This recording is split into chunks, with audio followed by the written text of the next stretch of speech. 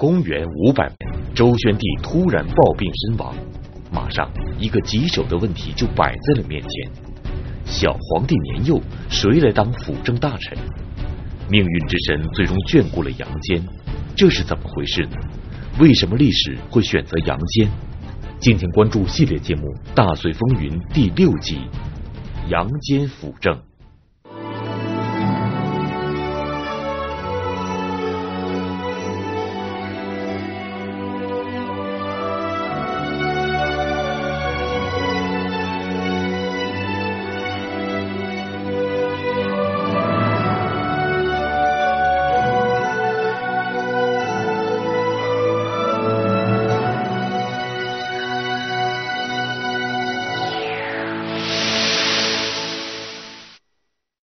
因为周宣帝的猜疑，杨坚的日子过得战战兢兢，如履薄冰。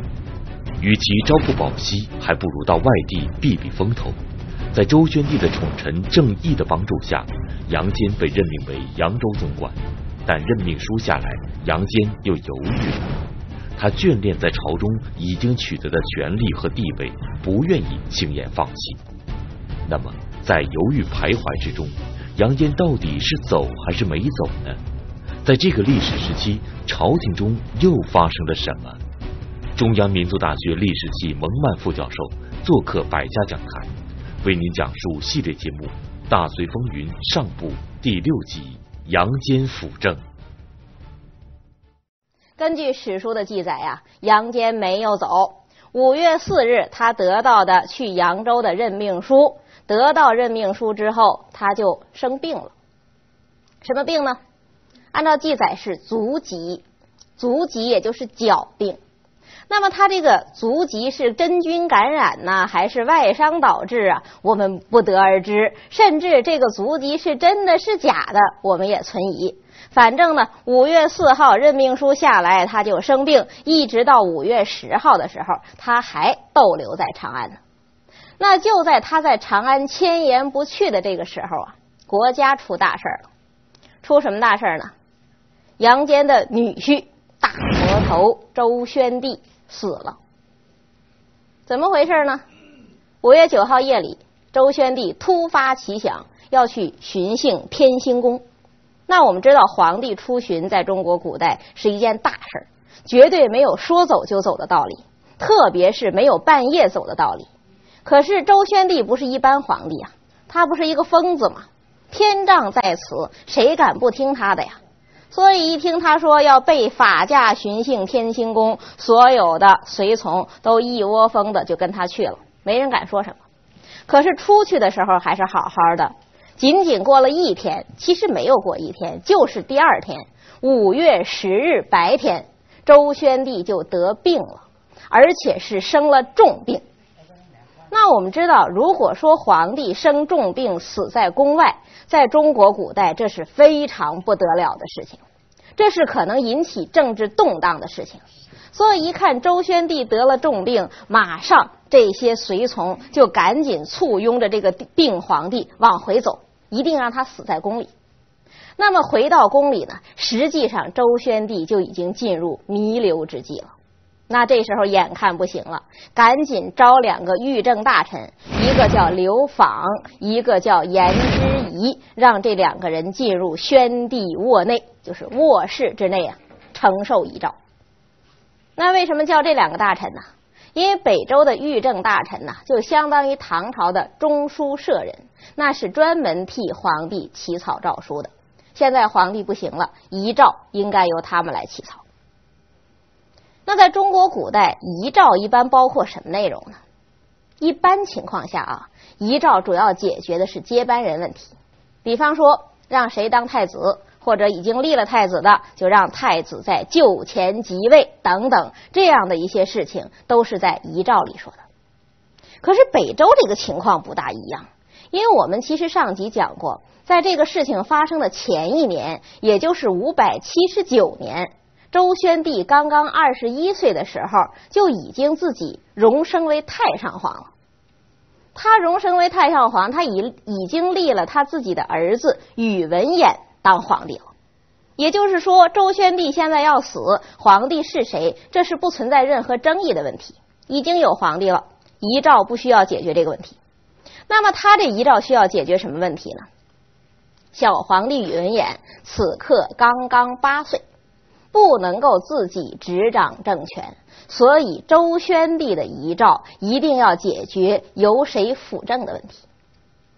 那究竟由谁辅政呢？虽说周宣帝招人入卧内来啊宣读遗诏，来宣布自己的遗诏，但实际上啊，根据史书记载，这时候宣帝已经是因不复能言，什么意思？已经说不出话来了。皇帝说不出话来了，那这时候两个御正大夫可就是手握重权了。他们到卧室承受遗诏，皇帝说不出来，但是他们要写出来，那他们写谁不就是谁了吗？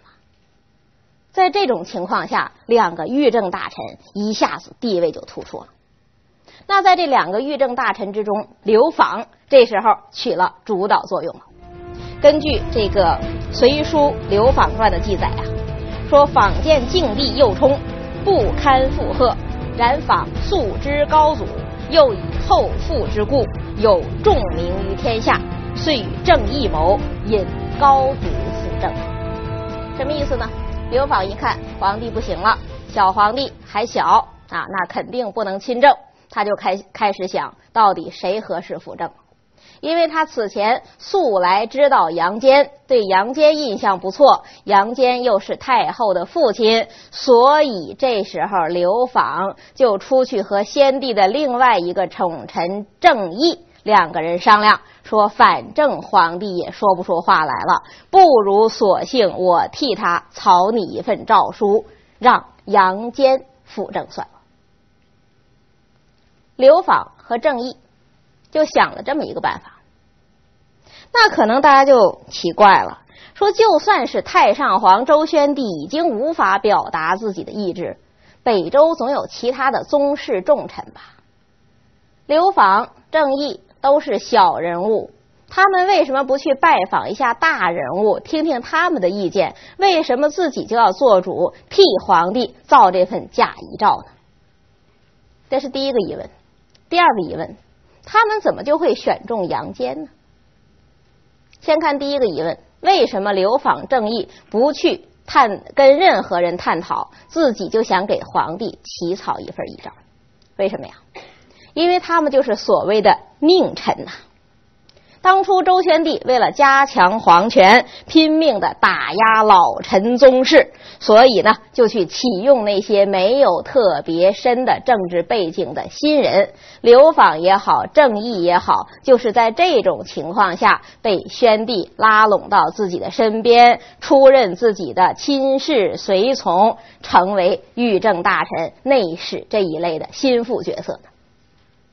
宣帝拉拢这些人有一个好处。因为这些人政治根基很浅，所以肯定对宣帝言听计从，根本不会挑战皇权。但是凡事有利就有弊，这些人也有一个最大的弱点，什么弱点呢？凡是佞臣，政治立场保证特别的不稳固。为什么呢？因为他们没有根基嘛，所以他们格外受这个一朝天子一朝臣的影响。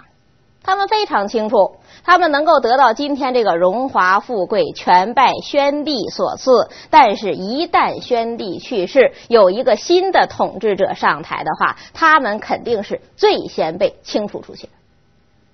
那么，怎么样才能保证自己现实的政治地位和各项生活享受不受改朝换代的侵扰呢？只有一个办法，那就是快速和新的统治者建立联系。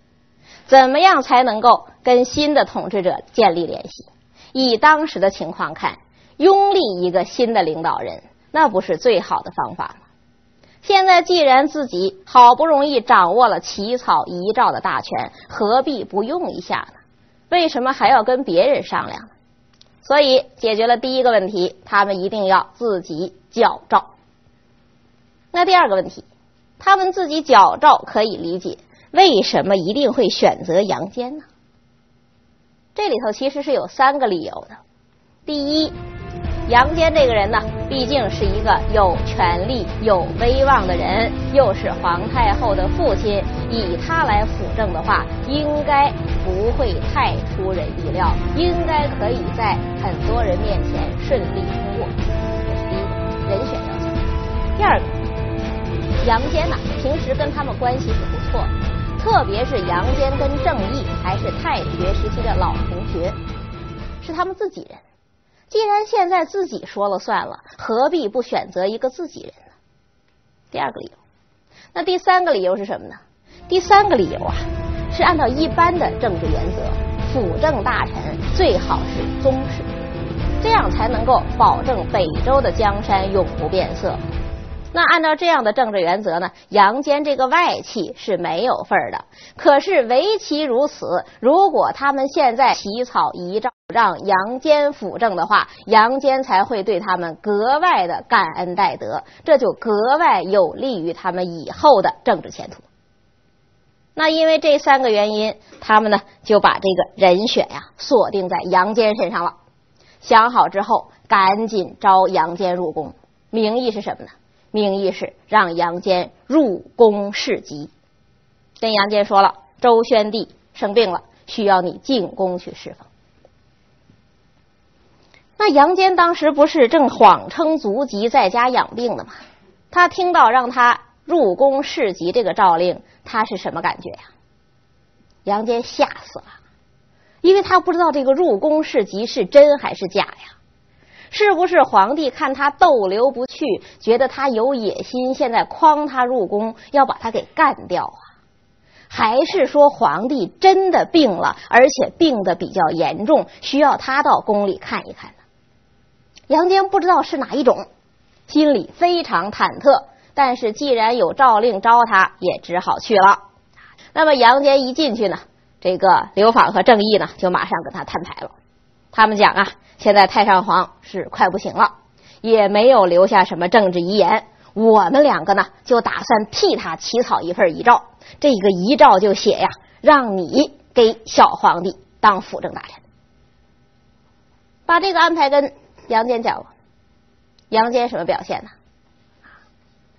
根据《通鉴》的记载啊，杨坚是固辞不敢当，坚决推辞，坚决的说：“我干不了。”那可能我们有人就不明白了。我们前面几集一直讲杨坚是有野心的人，为此他还没事就找人给他算命，还自己推测周宣帝活不长。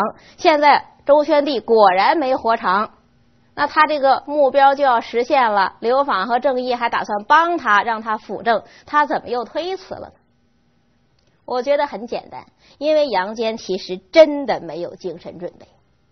虽然说他也整天。啊，自己替周宣帝算命，也觉得周宣帝活不长。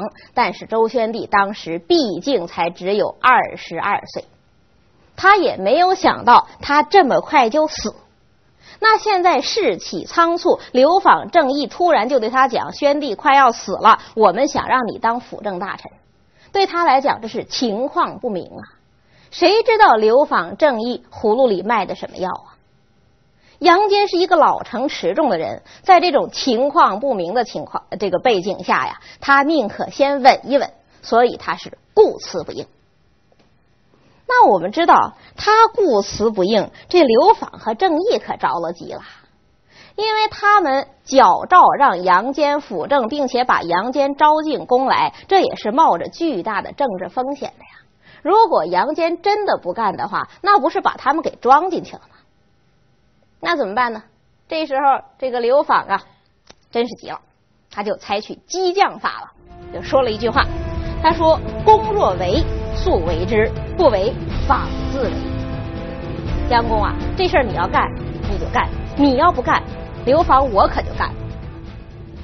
哦，杨坚一看这话都说到这个程度了，看来是真的了，那赶紧说，还是我来吧。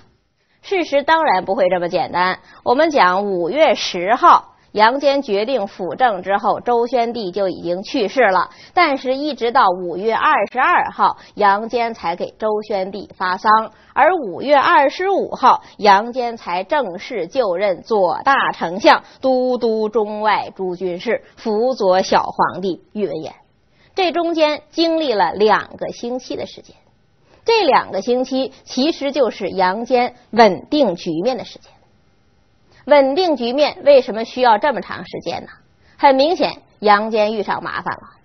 什么麻烦呢？三大麻烦。第一个麻烦，颜之仪不肯在遗诏上签名。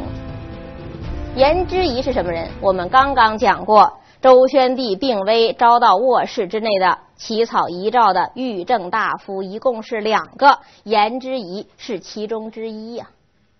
那说颜之仪，我们现在可能没有任何概念，但是如果说到他弟弟颜之推，很多朋友就会知道，颜之推就是那个著名的《颜氏家训》的作者。那么颜之推、颜之仪兄弟其实都是山东人，是儒学传家。最开始的他们是在梁，就是江南的梁朝做官，后来呢，梁朝亡国成了俘虏了，然后才进入北周。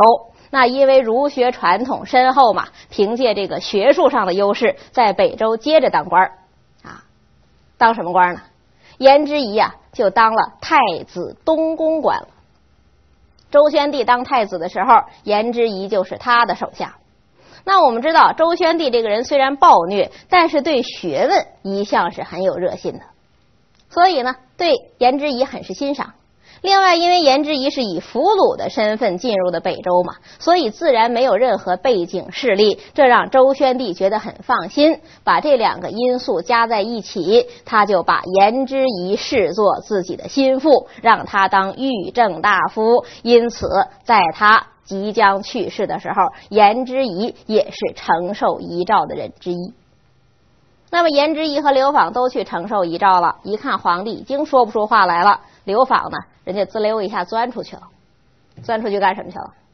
跟郑义一块搞阴谋去了嘛。颜之仪比较忠心，还在这等着。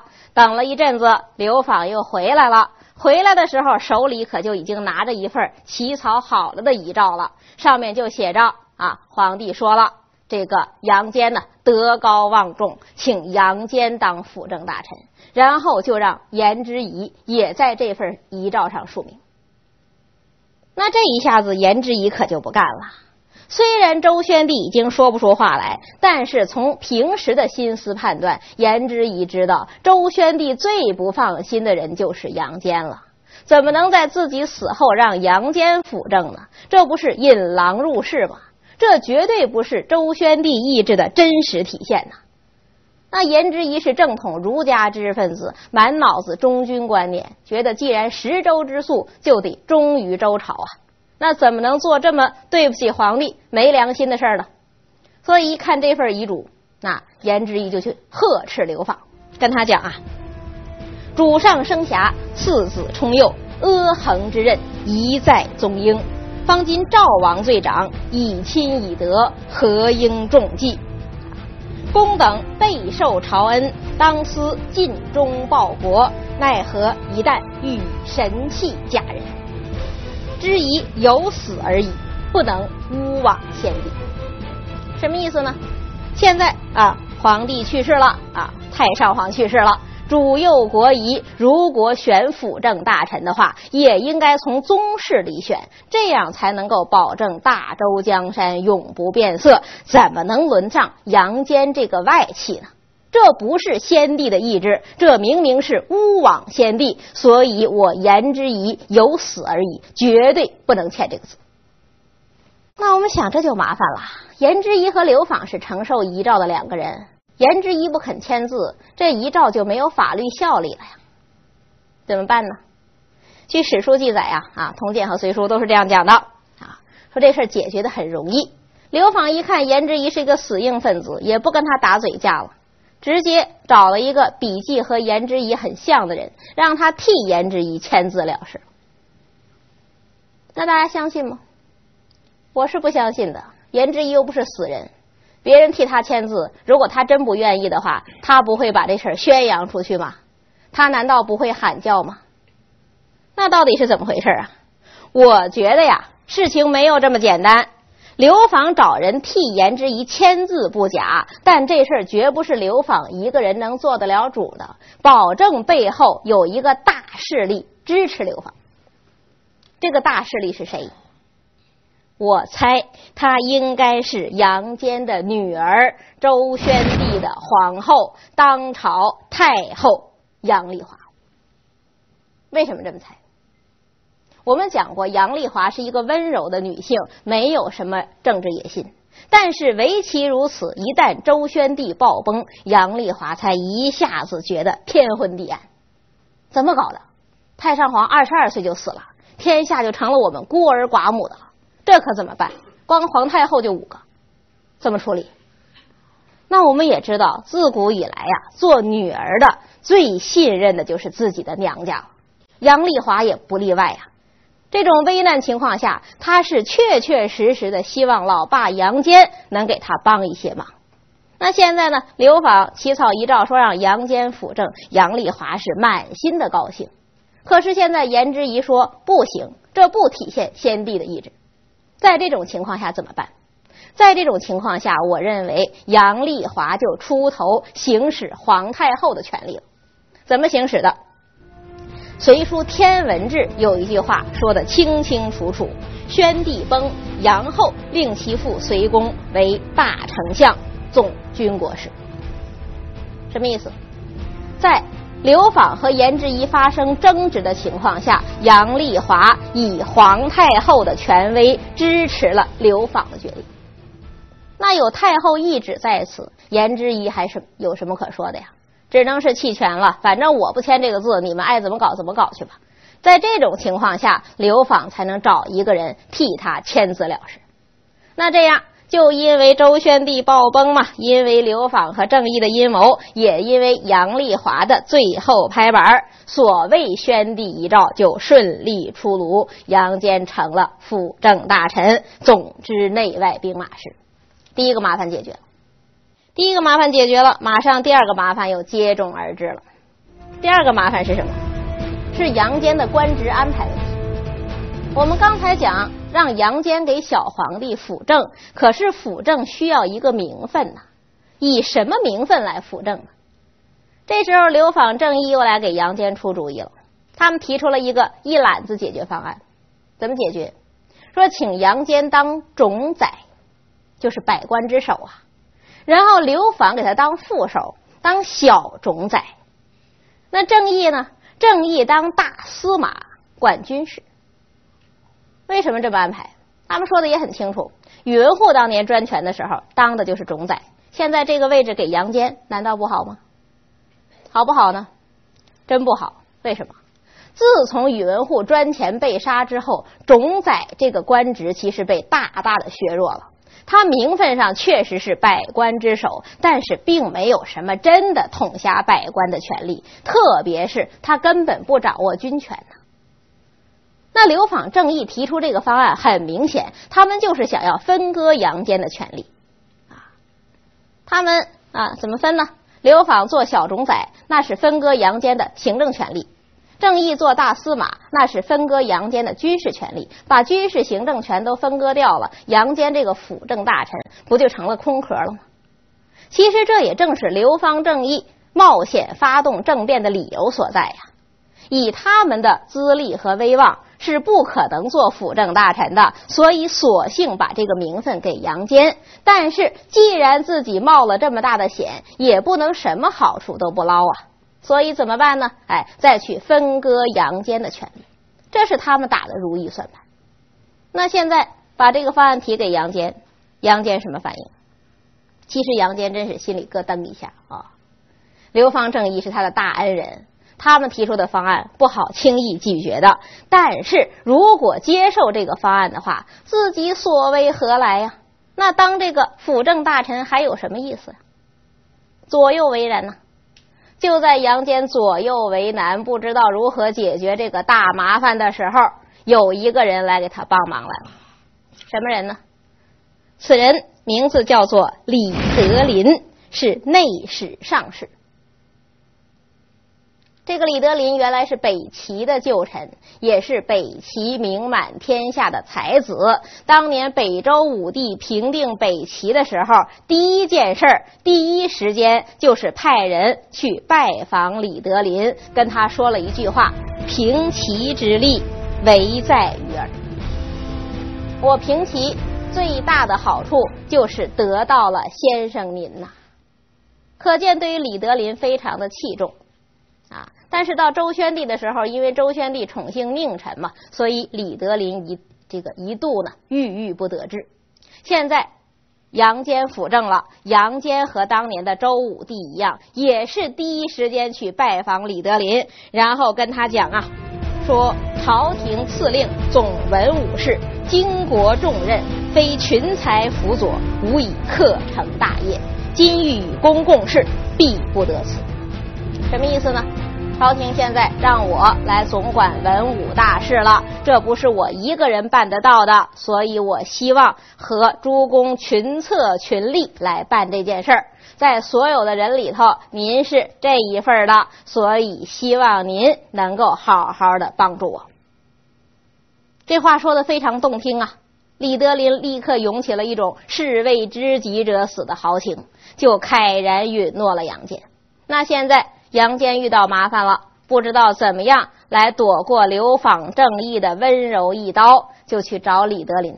李德林果然不负杨坚的期望，给他出了一个好主意。什么主意呢？杨坚啊，李德林跟杨坚讲啊，既然北周的最高官职就是种宰，而种宰实际上已经没有什么权利了，索性咱们就抛开北周原有的官职系统吧。咱们新设一个官嘛，新设一个官叫什么呀？叫大丞相啊！而且不仅要当大丞相，还要假黄钺都督中外诸军事。什么意思？大丞相那就是要总领全国的行政权力。假黄钺是什么？黄钺是黄色的大斧子，那是掌管生杀予夺之权，最高人事权。都督中外诸军事什么？那是掌管最高的军权。他说：“你只有把用人权、行政权和军事权都抓在自己手里，那才能当权臣呢。没有这个头衔可不行。”那杨坚说：“我当这个官了，流访正义怎么办呢？”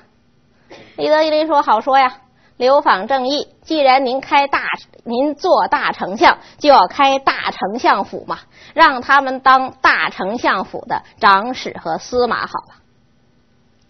那这一下，刘访和正义可傻眼了。本来是想跟杨坚一块儿给北周打工，现在成了给杨坚打工了。可是他们呢，没有什么实力。想要闹事儿，现在又闹不起来，所以只能是对李德林怀恨在心，但是也就委委屈屈的接受了这个任命了。那这样一来呢，第二个问题就解决了。好，第二个麻烦解决了，第三个麻烦又来了。什么麻烦呢？杨坚大丞相当上了，可是大臣不听他的。怎么回事？刚才我们讲五月二十二日，杨坚给周宣帝发丧；五月二十五日，周敬帝亲政，杨坚正式就任大丞相。啊，就任大丞相的当天，杨坚就发布了政府第一号令。他说：“周敬帝啊，小皇帝，现在既然已经亲政了，那是真皇帝了，就得住到原来周宣帝住过这个天台去，那才是皇帝应该住的地方。”那小皇帝原来住的东宫正阳宫腾出来干嘛呢？杨坚说呀，正阳宫腾出来就当我的丞相府好了，而且我今天就要搬家。那一听他这么说呀，这些大臣真是面面相觑啊，把皇帝赶走，住到皇帝的房子里，这不是僭越吗？这些大臣呢，以他们的身份和地位，倒未必知道皇帝死后的那些猫腻。也未必知道杨坚是矫诏当上的辅政大臣，但是就算是皇帝让你辅政，你也不能这么为所欲为呀！这不是明显不把皇皇帝放在眼里吗？这不是明显想篡权吗？所以大臣就三三两两、嘀嘀咕咕，做出一副不合作的样子。那我们也知道，一个权臣控制朝廷是关键。如果连朝廷里这些文武大臣都控制不了的话，以后还怎么办事啊？那怎么样控制文武大臣呢？这时候啊，又有一个人来给杨坚立功来了。谁呢？这个人叫做卢奔。本来也是这个周宣帝当太子时候的东宫官员，后来因为平齐立功，当了司武上士，就是皇帝禁卫军的军官。那当时皇帝禁军的首长就是杨坚，所以卢奔呢又成了杨坚的直接下属。他眼看这些文武大臣都嘀嘀咕咕啊，大眼瞪小眼，好像做出一副这个不太合作的样子。卢奔就站出来说话了，跟大臣讲啊：“欲求富贵者，当相随来。”什么意思呢？想要富贵的，跟着丞相走啊！他喊了这么一嗓子。头脑机灵的明白过来了，以后是丞相的天下了，跟着丞相走吧。那还有些头脑不够机灵的，想着总得忠于北周啊，就不走。不仅不跟杨坚走，还往门口走，什么意思呢？我不干了，我辞官回家行不行？那卢奔能让他们走吗？都走了怎么办呢？这些大臣走到门口一看，刀枪剑戟、斧钺钩叉，明晃晃的兵器啊，雄赳赳的士兵都在那站着呢。谁让你走啊？想走也走不了，那走不了，只好跟着杨坚了。跟着杨坚去哪儿呢？杨坚在前头领着，卢奔在后头压着，中间文武百官浩浩荡荡就奔了正阳宫了。原来皇帝住的东宫，现在的丞相府啊。那第三个麻烦也顺利解决了。让这场争辩政变能够成功啊，有四个方面的力量。发挥了关键作用，哪四方面的力量？第一，周宣帝的力量。毫无疑问，周宣帝青年暴卒，这给了杨坚辅政的机会。那但事实上，周宣帝给杨坚帮的忙还不止于此呢。我们知道，这个周宣帝。为了加强中央集权，大规模的削弱宗室，凡是有能力的宗室，或者杀掉，或者外放。所以在周宣帝暴卒的时候，京师里居然没有一个可以出来主事的王爷，这才给了杨坚真正的可乘之机呀。所以说，周宣帝主观上确实在猜忌杨坚，但客观上，谁给杨坚帮的忙也没有周宣帝大。这是第一方面的力量，第二方面，周宣帝亲近大臣的力量，谁呢？就是刘访和郑义。那我们也知道，在周宣帝暴崩的情况下，刘访和郑义矫诏让杨坚辅政，是杨坚政变成功的第一步，其实也是非常关键的一步。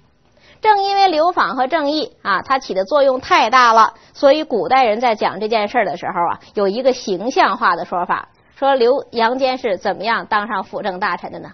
是刘访牵前，郑义推后。刘访在前面牵着他呢，郑义在后面推着他呢。那刘访和郑义两个中层干部怎么能发挥这么大的作用啊？